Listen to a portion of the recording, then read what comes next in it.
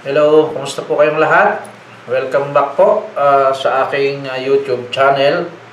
Uh, this time ay um, pag-usapan po natin paano ba magtatagumpay ang isang OFW. Una,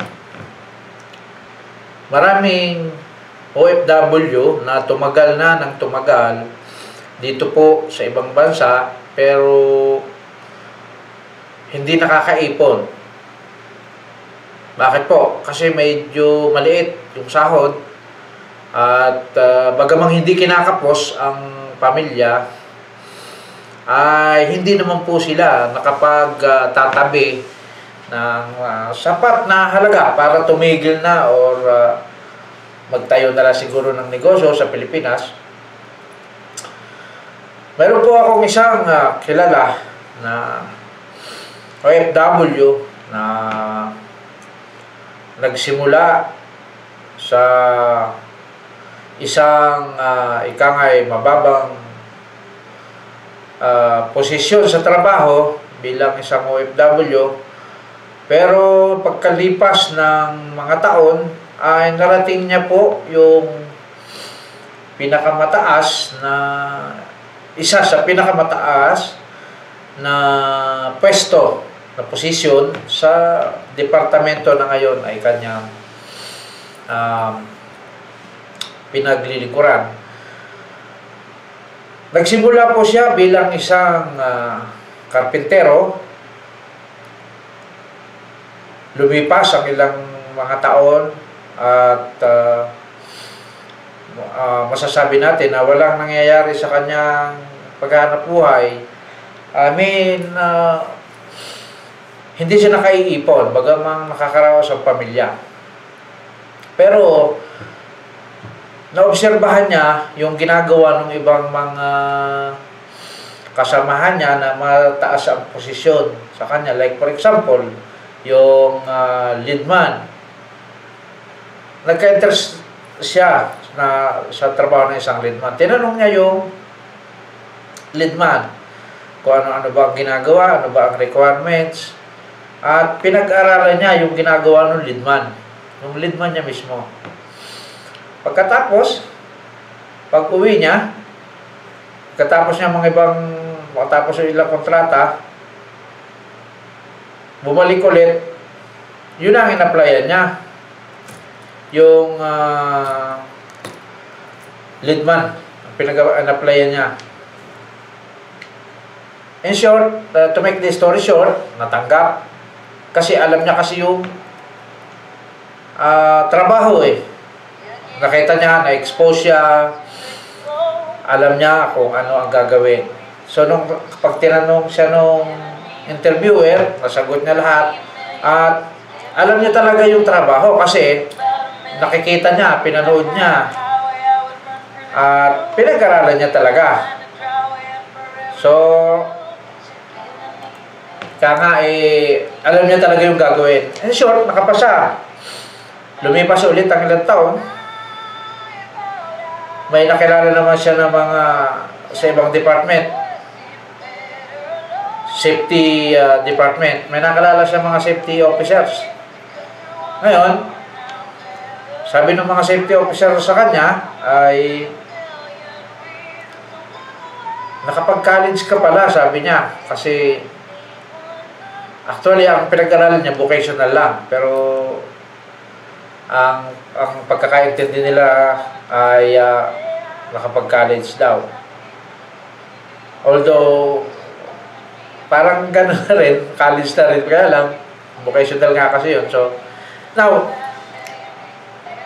nag-aaral siya ngayon, pinag-aralan niya, pinag-aralan, nag-training siya, sari-sari training, pinag-aralan niya yung trabaho ng safety officer.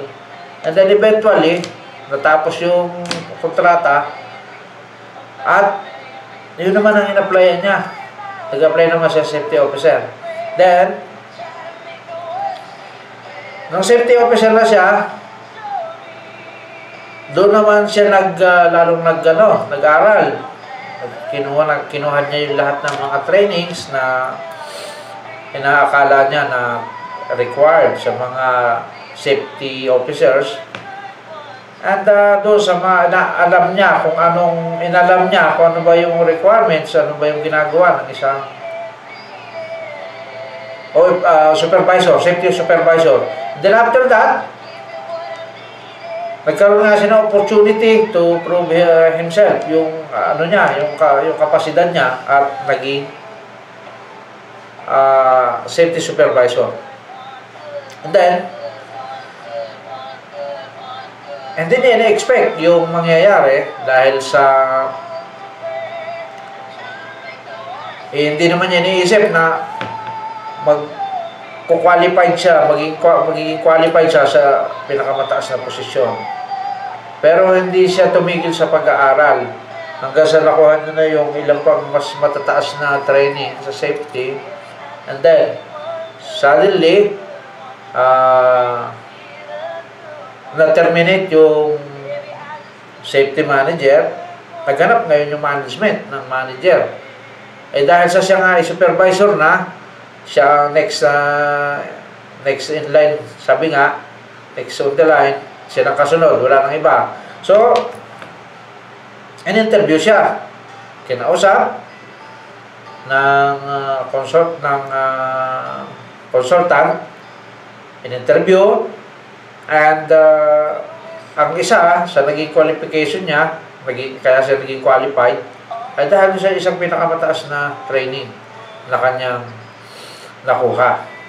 Na may kamahalan, pero pinagsakripisyuhan niya para lang makuha niya at uh, makapasa siya at nakapasa. So, doon yung makikita kapag ikaw ay uh, buo ang loob at uh, handa mong uh, pag-aralan at uh, abutin yung iyong mga pinapangarap. Magtatagumpay tayo. Ang karamihan kasi sa mga OFW na matatagal na rin sa, dito sa ibang bansa ay uh, nasisihan na doon sa kanilang posisyon na kasalukuyan. Kung halimbawa, electrician, or uh, uh, pipe fitter, welder. Kasi kung halimbawa po talaga kayo mag-ambition, for example, isa kang pipe fitter, umubos ka na kung ilang taon, bakit hindi mo pag-aralan ng trabaho ng isang foreman? Pipe fitting uh, foreman. Then after that, supervisor naman, pag-aralan mo. Ano bang um, ginagawa ng isang supervisor? Kasi these days, hindi na po tinitingnan eh yung educational background mo. Mayroong mga particular discipline na talagang requirement yun. Either, for example, engineering. Kung ikaw ay uh, civil engineer or uh, ikaw ay uh, mechanical engineer or something. Yan. Pero marami, napakaraming uh, uh, mga trabaho sa abroad na hindi na po yun ang hinahanap. Like for example, supervisor, foreman, hindi po kasi kinakailangan uh, degree holder ka dyan eh. Ang tinatanong po dyan, kung alam mo yung trabaho, eh bakit di mo pag-aralan? Diba? Pag-aralan mo din, habang nandiyan ka, Ginugugol mo ang panahon dyan sa, dito, sa abroad. Pag-aralan mo yung mataas na posisyon. At siya mong applyan sa susunod. Bago ka mag-apply, siguraduhin mong alam na alam mo na yung trabaho niya. At ang isa pa, pinakamahalaga, eh yung alam na alam mo na rin kung ano yung itatanong sa'yo during interview. Meron po ako nakasama sa Qatar. Siya po ay almost 10 years na pipe fitter. Naghanap siya ng QC, naghanap ng uh, uh, QC. Although, ang isa sa requirements dyan sa, para ka maging QC ay engineering graduate ka. Engineer ka, at least dapat engineer ka. Sa ano po ito? Sa Hyundai.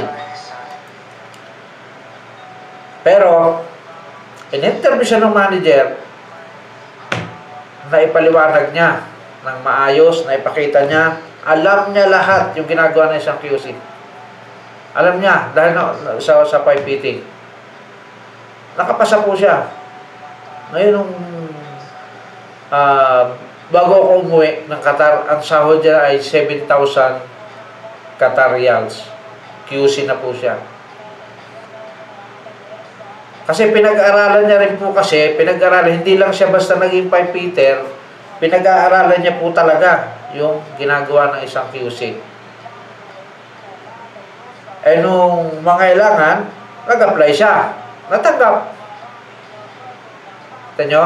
Kaya, kung ating pong pag-aaralan, yung ating, yung mga, uh, paano tayo unlad, eh, madali lang po eh.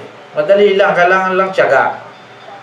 Gaya na sinabi ko sa'yo, lalo na sa construction, marami pong trabaho mat- na mataas na posisyon like supervisor or uh, foreman na hindi po required yung mataas na pinag-aralan o degree o kailangan gumraduate ka pa ng college. Hindi po. Ang tinatanong sa iyo trabaho, alam mo ba yung trabaho na yan? Eh kung pag-aaralan nyo po yan, eh, posible hindi nyo matutunan kasi kayo actual po yan eh. Andiyan kayo mismo. So, ang advice ko sa lahat ng mga OFW na nandito pa sa ibang bansa, pag-aralan nyo po yung mga posisyon na mataas. Kaya lang kunin nyo muna yung kami, pag-aralan nyo muna yung kanilang mga ginagawa and then, pagka po kayo ay alam ninyo na alam nyo na ang ginagawa nila, mag-apply kayo. Mag-apply kayo. Ang dami ngayon, kahit ngayon, dito yung mga kasama ko, mga skilled.